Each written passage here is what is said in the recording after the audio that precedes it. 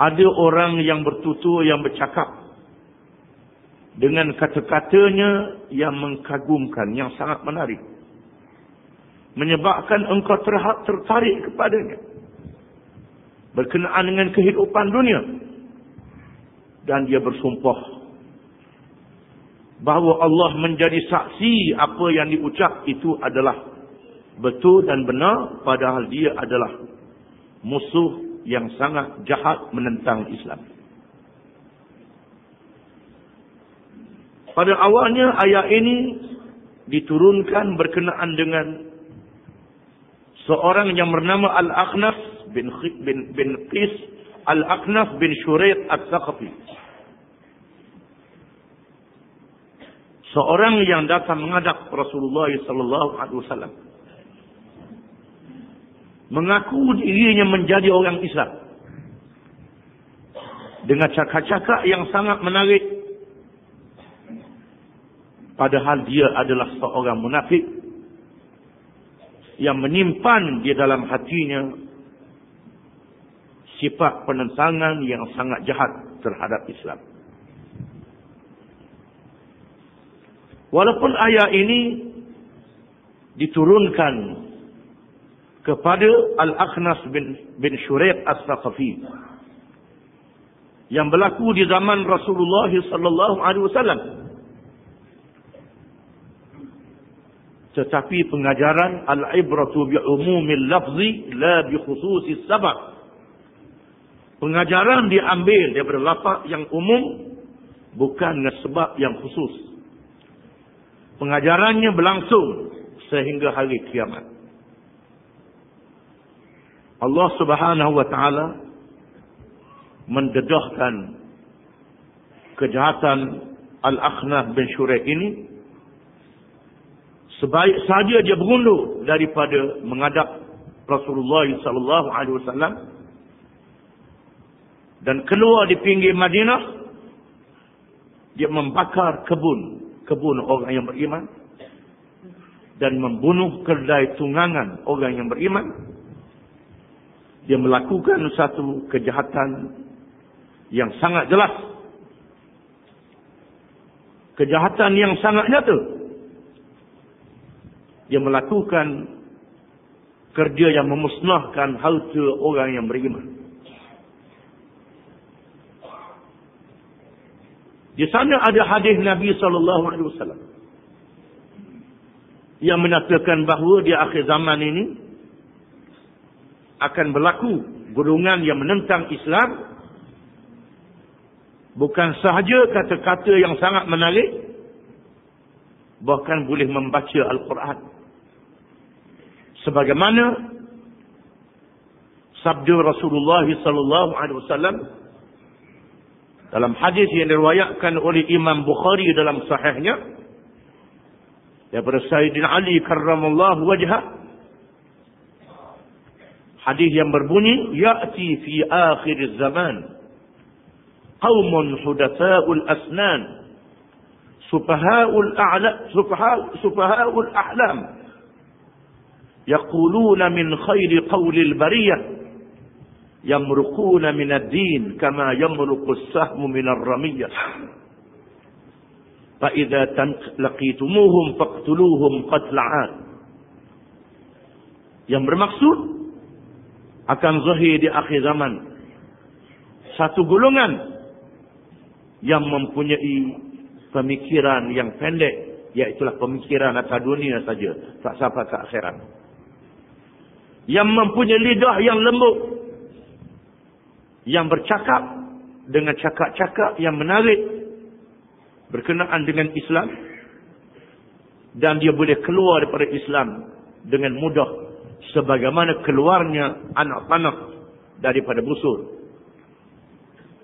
apabila kamu menemui golongan ini tentangilah mereka sebagaimana menentang kaum Ad dalam satu hadis yang lain, sabda Rasulullah sallallahu alaihi wasallam, "Yaqra'una al-Qur'an la tujawizu qira'atuhum taraqiyahum." Mereka itu membaca Quran tetapi bacaan mereka tidak lebih daripada halqum. Sekadar halqam saja. Lidah dan ke halqam. Tak masuk ke dalam hati. Kamu akan bertemu golongan ini. Golongan yang boleh mengelirukan orang. Kerana boleh baca Quran, boleh menerangkan berkenaan dengan Quran. Ini termasuk di dalam man yu'jibuka qawluhu fil hayatid dunya.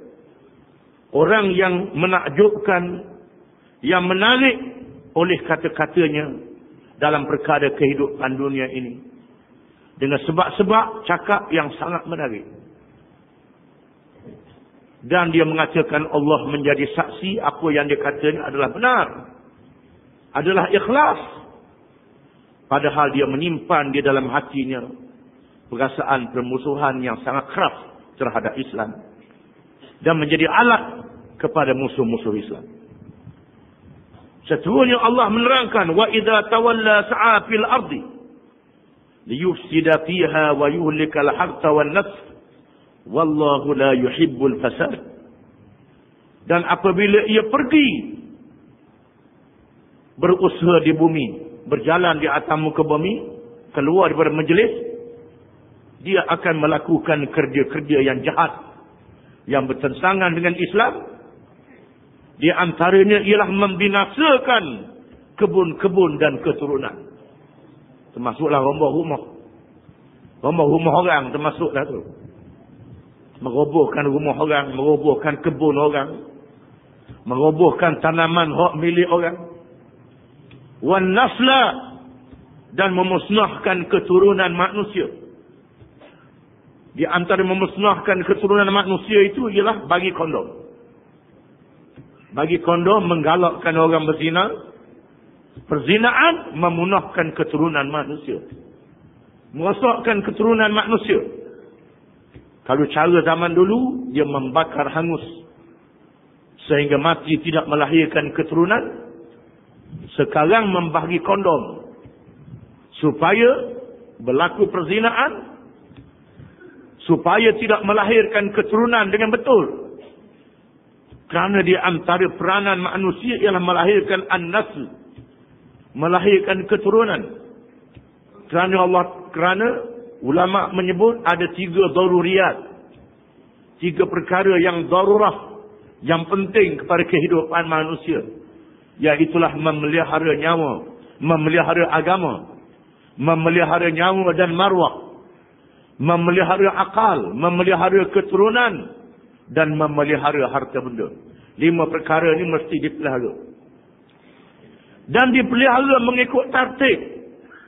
Yang pertama memelihara agama. Agama kena pelihara dulu. Lebih daripada yang lain.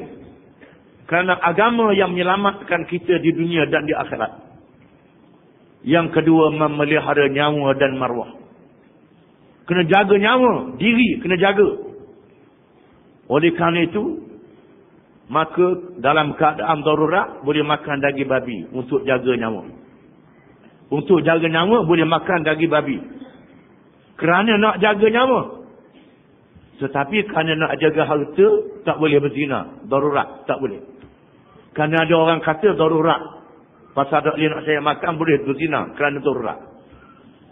Itu kerana harta. Harta duduk nombor lima. Marwah duduk nombor dua. Ha? Marwah hendaklah dijaga terlebih dahulu. Ha? Bersama dengan nyamuk. Lepas tu memelihara akal. Lepas tu memelihara keturunan. Di antaranya ialah memelihara keturunan. Di antara memelihara keturunan itu ialah berkahwin melahirkan keturunan dengan betul. Di antara merosakkan keturunan itu ialah menggalakkan orang supaya berzina. Hari ini digalakkan membagi kondom. Kononnya untuk mengedak, untuk mengelak dia penyakit AIDS. Kerana dia fikir penyakit AIDS, dia tidak fikir penyakit zina. Zina juga adalah penyakit, bukan saja AIDS kepada dia id dia zina ada apa ini satu perkara yang sangat menyesatkan yang sangat menyesatkan yang berlaku akhir-akhir ini inilah dia petunjuk Al-Quran Karim yang merupakan mukjizat sehingga hari kiamat menjadi pengajaran kepada kita. Di sinilah tempatnya kita disuruh berpandu dengan Al-Quranul Karim. Allah Ta'ala dedahkan kepada kita. Segala keburukan yang berlaku. Wallahu la yuhibbul fasad. Dan Allah Ta'ala tidak mengasihi. Tidak suka kepada orang-orang yang melakukan kerosakan. Kerosakan agama, kerosakan akhlak, kerosakan harta benda. Kerosakan segala kerosakan yang diharam oleh Allah Subhanahu wa taala. Wa idza qila lahu ittaqillaha akhadathu al-'izzatu bil ismi fahasbuhu jahannam wa la bi'sal mihad. Di antara perangai golongan ini, perangai puak-puak ni, wa idza qila lahu ittaqillah dan apabila dikatakan kepadanya bertakwalah engkau kepada Allah, takut Tuhan. Kita suruh dia takut ke Tuhan. Jangan buat perkara jahat ni takut ke Tuhan. Akhadathul izzah. Timbullah kesombongannya jadi kohogong. Kohogong, kohosombong dia pula. Untuk meneruskan kerja jahatnya. Fahasbuhu jahannam. Maka cukuplah neraka. Tempat balasannya pada hari kiamat. Kalau. Wabi salmihad. Walabi salmihad dan neraka itu seburuk-buruk tempat. Ini golongan yang pertama, golongan munafik. Yang merupakan golongan yang wujud di sepanjang zaman. Bukan saja zaman Nabi SAW, termasuk di zaman kita. Didedahkan dengan sifat-sifatnya. Kalau nak tahu, tengok sifat-sifatnya dalam Quran. Dan tengok ada ke pada orang yang begitu.